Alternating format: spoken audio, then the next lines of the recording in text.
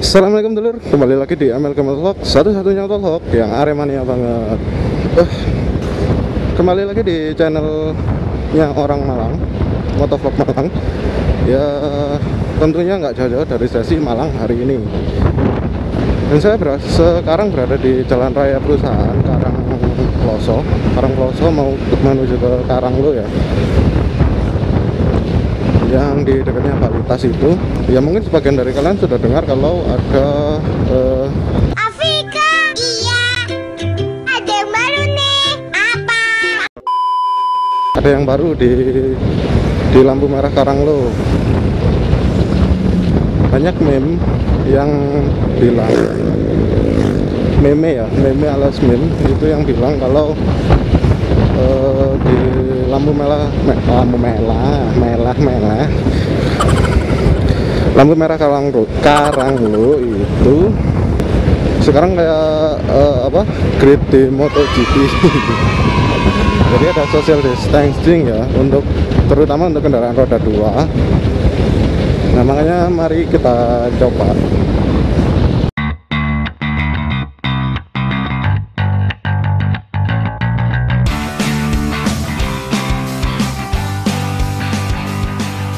dan video ini diambil di pagi hari hari Jumat. Jadi orang masih kerja dan seharusnya jam sekarang jam 8 ya, sekitar jam 8 itu harusnya rame-ramenya orang berangkat kerja. Makanya mari kita lihat kondisi di sana cek this out. Nah ini dia lur udah deket itu udah kelihatan sih kalau lampu merahnya tapi ini yang dari sisi barat ya saya. Yang dari eh, depannya Bentul yang dari arah Karang Ploso saya nggak tahu kalau yang di foto yang sempat jadi meme sempat viral itu yang daerah mana? Sebelah mana? Oh sepertinya se dari semua arah ada sih. Wah kita ke bagian grid nih. Yap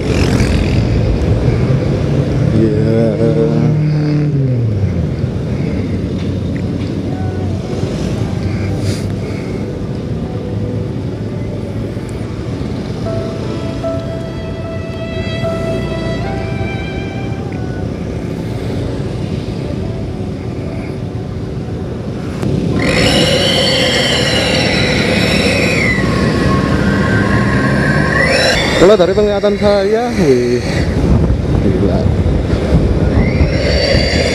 Pick up racing lur.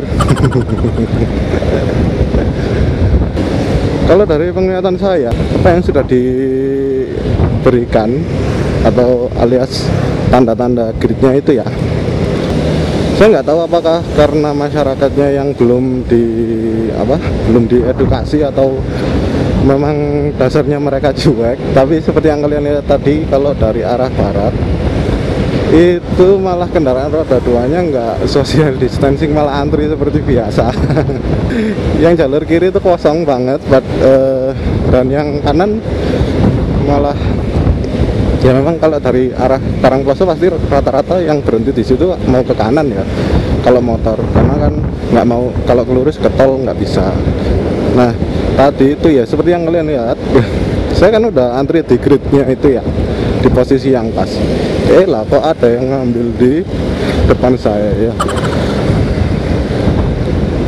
Walhasil nggak nggak jadi social distancing dong. Paling males kena lampu merah di sini. Kita menepi dulu. Lur.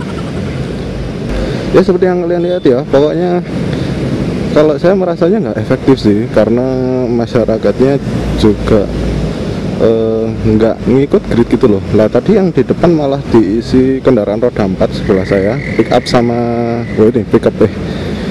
Pick up balap sama sama mobil apa ya tadi? MPV atau apalah gitu. Pokoknya kendaraan roda 4 malah ngisi yang di depan. Dan roda duanya malah berjajar di pinggir kendaraan roda 4 gitu. Sementara yang e, jalur kiri kosong banget. Tapi saya nggak tahu kalau dari arah utara yang arah Singosari itu kan harusnya kalau sepeda motor yang antri di situ kan yang mau ke kanan ya? Yang mau ke arah Karang Ploso saya lihat tadi juga sama aja nggak. Mungkin kalau di kamera nggak terlalu jelas tapi kalau yang saya lihat tadi nggak nggak ada jaraknya sih. Ya intinya dari penglihatan saya gitu sih. Eh, mungkin itu cuma salah satu upaya dari pemerintah kita ataupun dari pihak Polres ya saya juga kurang tahu. Tapi memang lagi rame meme yang seperti itu dan nyatanya di kasus saya tadi walaupun baru satu kali nyoba itu tidak efektif. Karena tidak ada edukasi lebih lanjut dan tidak ada yang mengawasi gitu. Lagi pula meskipun mereka patuh di lampu merah tapi kan faktanya nggak semua lampu merah ada gituannya gitu. Dan terus kalau putar balik gini tetap aja dempet-dempetan jadi ya ya bisa saya bilang upaya yang dilakukan pemerintah pemerintah kita atau pihak Polres di lampu merah Karanglo itu sebenarnya eh, tidak efektif sih atau kurang efektif karena tidak berjalan sebagaimana mestinya gitu. ya saya repot kalau mau nyalip orang kursus mengemudi